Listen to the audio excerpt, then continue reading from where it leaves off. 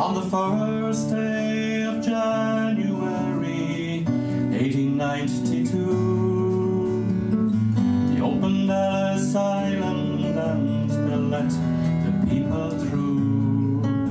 And the first to cross the threshold of that Isle of Hope and Tears Was Annie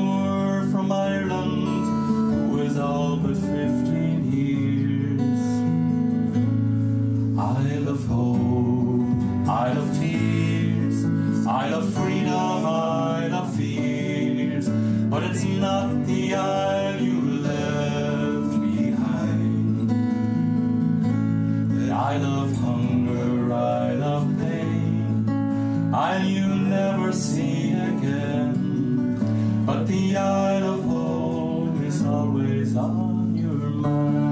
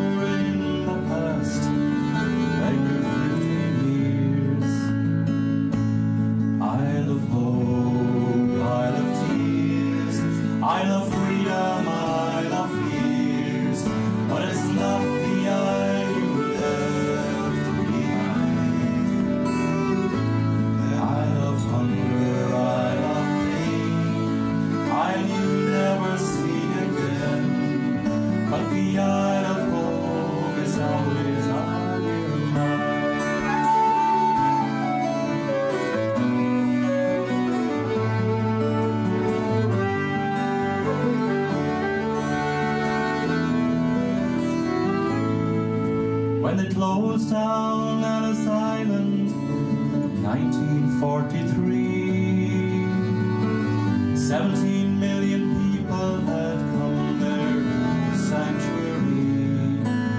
And in springtime when I came here and I walked upon the